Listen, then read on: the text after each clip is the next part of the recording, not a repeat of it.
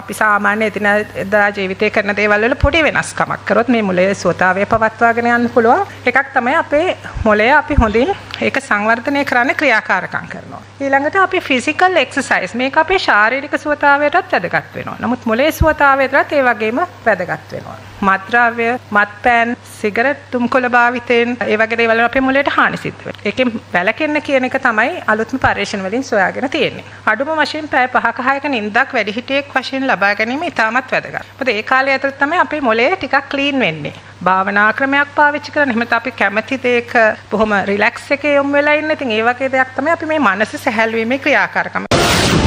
මව් කිරිවලට අමතරව වෙනත් කිරක් දරුවන්ට ලබා දෙන්න. ඒ ગેප් එක මතන බිඳුව කරන්න පුළුවන් නම් හැම මවකටම තමන්ගේම කිරෙන්න තමන්ගේ දරුවා පෝෂණය කරන්න පුළුවන් ශක්තියක් ධෛර්යයක් අපිට ලබා දෙන්න පුළුවන් නම් ඒක තමයි අපේ අදිෂ්ඨානය විය යුත්තේ. මව්කිරි පමණක්ම පළවෙනි මාස 6 ඇතුළතදී ලබා දුන්නොත් සහ අවුරුදු දෙකක් හෝ ඊට වැඩි කාලයක් අමතර ආහාරත් සමග මව්කිරි ලබා දුන්නොත් ඒ දරුවන්ගේ බුද්ධි වර්ධනයට ඒක ඉමහත් පිටුවහලක් වෙනවා. මේ WHO එකේ රෙකමෙන්ඩේෂන් එක අනුව මව්කිරි දුන්නහම අවුරුද්දකට මවතෘ මරණ ලක්ෂයකට වැඩිය අඩු කරගන්න පුළුවන්.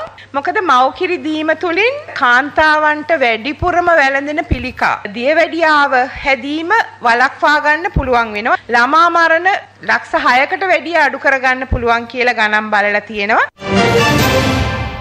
රටේ ලෝකෙ සිදුවන උණුසුම් පුවත් දැනගන්න සියත නිවුස් YouTube channel එක අදම subscribe කරන්න.